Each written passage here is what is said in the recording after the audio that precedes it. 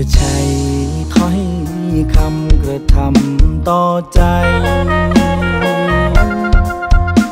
ก็คิดจากน้อยก่อนเมาออกไปว่าหาคือเก่าจังเม็นเว้าบ่ปองแท่นนอบ่จำได้บ่ว่าเคยเฮ็ดอิหยังเอาไว้